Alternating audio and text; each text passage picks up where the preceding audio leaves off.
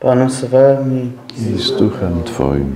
Słowa Ewangelii według świętego Mateusza. Chwała Tobie, Panie.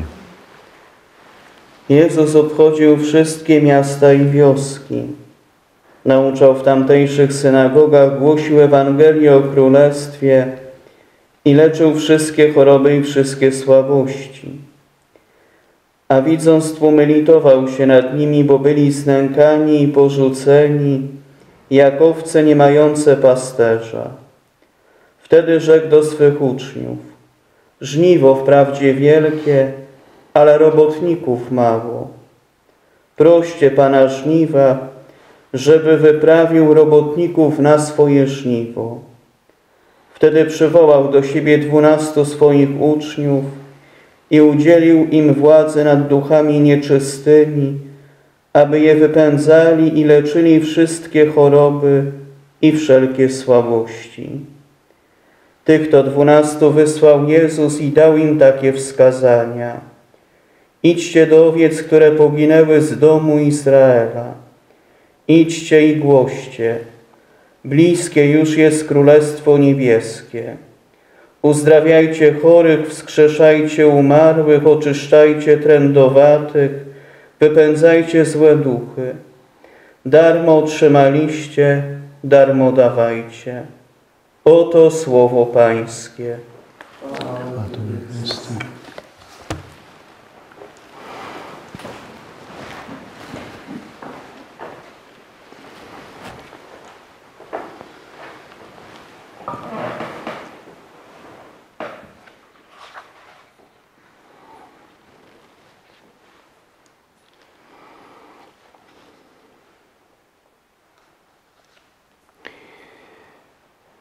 Bardzo jest piękne to dzisiejsze słowo.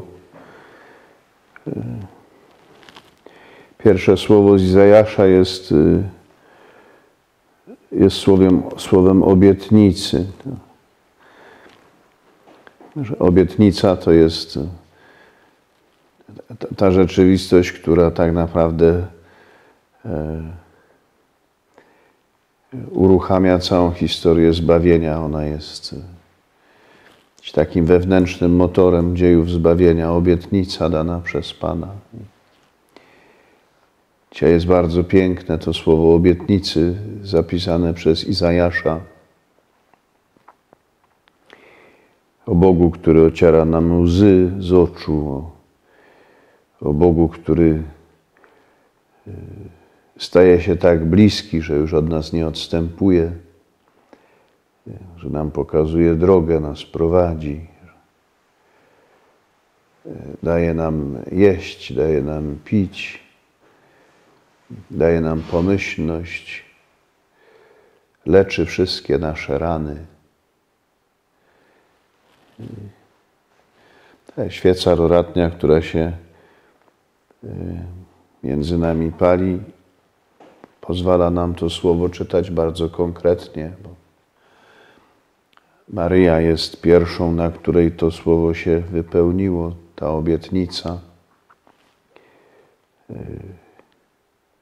To właśnie Maryja Adwentowa jest tą, z którą Pan się jednoczy, tak, że już od niej nie odstąpi, staje się jej synem, a wchodzi z nią w tak tak intymną relację, tak bliską, tak nierozerwalną, jak, jaka jest między dzieckiem w łonie, a, a matką, która go nosi. To są już takie więzi, które się nigdy, które nigdy nie przestają być aktualne, żywe, zobowiązujące. Kiedy patrzymy na Maryję, to odkrywamy jeszcze raz to, że wszystkie obietnice Pana Boga spełniają się w Jezusie. On jest tą obietnicą ostateczną.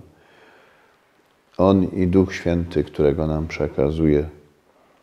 Jezus jest pokarmem, Duch Święty jest napojem. Jezus leczy nasze rany, te najgłębsze, jakie, nam, jakie zostawia w nas, zadaje nam grzech. Jezus jest naszą drogą. Bez Jezusa nie ma pomyślności. Nawet jeśli człowiekowi się wydaje, że nie, nie wiadomo czego się dorobił, jakich trzód, ilu wołów, ile osłów. Jeśli to jest gdzieś bez Jezusa, albo obok Niego, albo wbrew Niemu, tak naprawdę nie jest żadnym dobytkiem.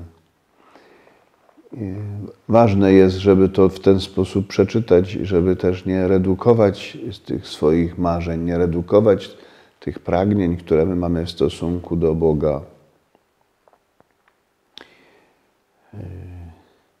Co innego jest dostać od, od Boga chleb ucisku i wodę utrapienia, a co innego jest spożywać Jego ciało, które staje się chlebem i, i pić, pić Jego krew i pić tę wodę, którą jest Duch Święty.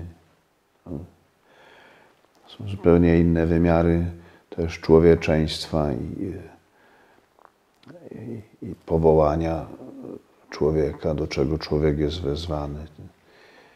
Piękna obietnica, a, a jeszcze piękniejsze jest to, że my możemy ją czytać jako wypełnioną w Jezusie. Ewangelia nas y, zastaje nie tyle w sytuacji y, osobistej, co w sytuacji naszego Kościoła. E, wiele z y, opisów Kościoła, jakie dzisiaj e, czytamy w, w, rozmaitych publikacjach, pewnie by się mogło dobrze zmieścić w tym obrazie dzisiejszej Ewangelii e, owiec rozproszonych, wielu owiec, które poginęły z domu, owiec, które nie mają pasterza. I wielu w ten sposób dzisiaj mówi o Kościele.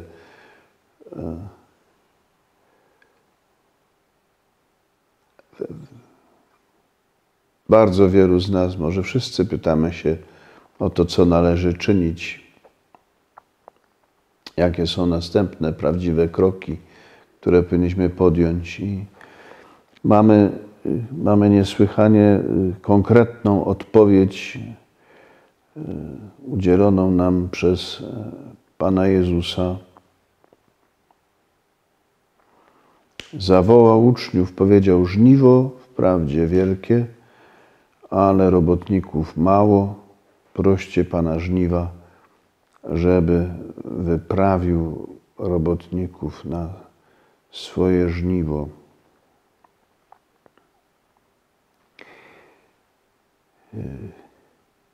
Tam jest tak naprawdę wygnał Ekbale, żeby wyrzucił robotników na swoje żniwo. Tam jest takie słowo, którym się kryje pewna gwałtowność U świętego Marka na początku Ewangelii jest takie to słowo, kiedy Marek mówi, że duch wyrzucił Jezusa na pustynię. I tu jest to samo słowo, że potrzebni są ludzie, którzy są wyrzuceni przez Boga do misji. To nie jest tylko kwestia. Yy, to, nie jest kwestia braku takich ludzi, tylko to jest kwestia braku ich decyzji. Są, są, tylko muszą być wyrzuceni, ponieważ e, e, nie odnajdują być może w sobie e, argumentacji, nie, nie, nie odnajdują w sobie siły, nie odnajdują w sobie przekonania, nie odnajdują w sobie takiej dynamiki. Właśnie o to idzie, żeby zostali wyrzuceni przez Boga z jakąś gwałtownością. To znaczy, że e, Jezus widzi, że to nie, to nie, to nie jest taki czas na, nie wiem, spokojnie sobie usiądźmy i poplanujmy, a co byśmy mogli zrobić, a to, a tam. To nie. Tym, który wyrzuca, jest Pan. I On to robi w ten sposób. Czujemy to dobrze. że wewnątrz człowieka czyni coś tak gwałtownego, że ten człowiek czuje się wyrzucony do misji.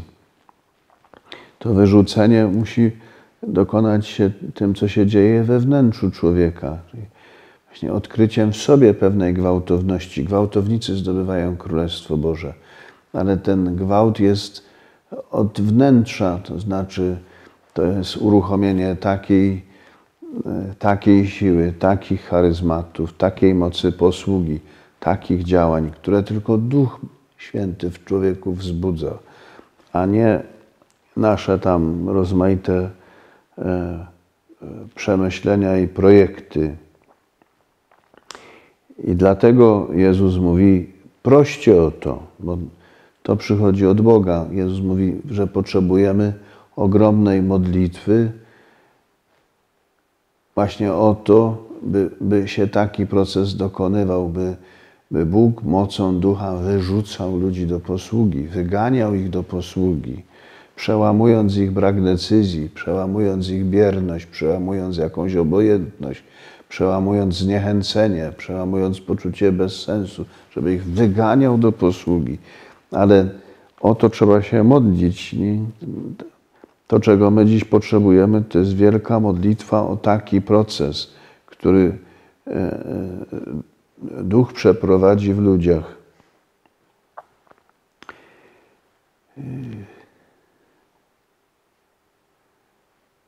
No, tyle. Amen.